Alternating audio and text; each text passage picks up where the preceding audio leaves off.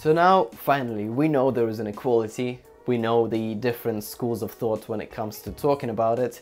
We know the difference between pure and efficient redistribution. We also know the difference between capital to labor inequality and labor inequality. So we know all that. Uh, and the next question, the logical question is, you know, what, what can be done about it, what to do about it.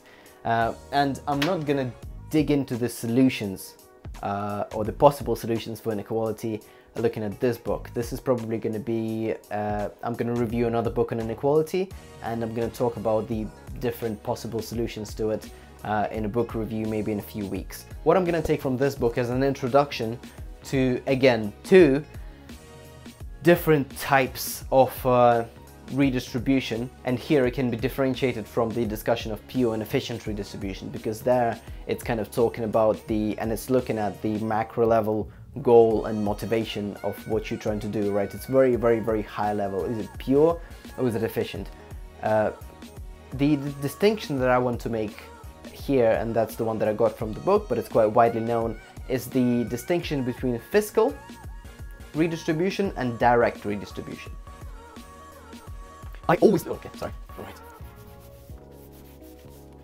Fiscal. Fiscal redistribution basically means taxes. You let the markets operate, you let the salaries come, you let the capital, the dividends be distributed, and then you kind of take that pot and uh, you tax it, right? And then this is how you get it from the rich and then take it to the poor and uh, you know fis fiscal redistribution is something that Scandinavian countries do and uh, do quite well uh, last time I checked. So this is really the core idea of it. There is a lot more to say about it, uh, but fiscal redistribution basically means taxation. So the rich are taxed more if the system is working well, they earn more, they get more uh, in terms of capital or inheritance or whatever it may be, and then that uh, money is then taken and redistributed to uh, the poor, right, through different governmental redistribution departments, schemes, and so on and so forth. So that's fiscal redistribution. The second type is direct. And that concerns basically an idea that you shouldn't wait until everything is kind of said and done, until everyone worked and got their uh, kind of rewards for that. You should actually intervene in the way the goods and services are produced in the, in the production itself. So an example of direct redistribution is a manipulation of wages, for example, from the government. So uh, intro introduction of a minimum wage or introduction of some sort of a set wage for the workers is an example of direct distribution.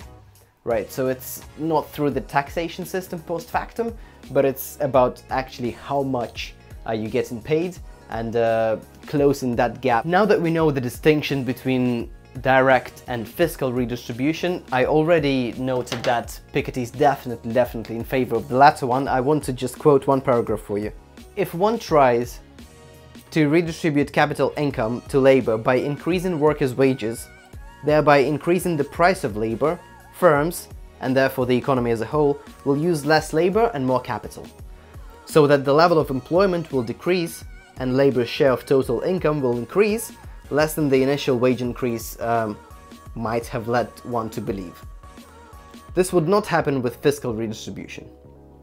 If one taxed the profits of firms or capital income paid by firms to capital owning households, one could finance a fiscal transfer or tax decrease to achieve the same redistribution of income to workers without increasing the labor cost of firms and thus without triggering a substitution of capital for labor uh, that is basically negatively impacting employment. So just to simplify this uh, a bit, uh, also for myself, what happens when you directly redistribute wealth?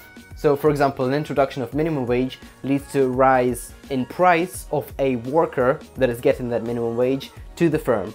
So logically, what the firm is going to think is, huh, okay, so we don't want to pay this much now that this minimum wage is introduced. What we're going to try to figure out is we're going to invest more in R&D and uh, we actually will try to automate those somehow.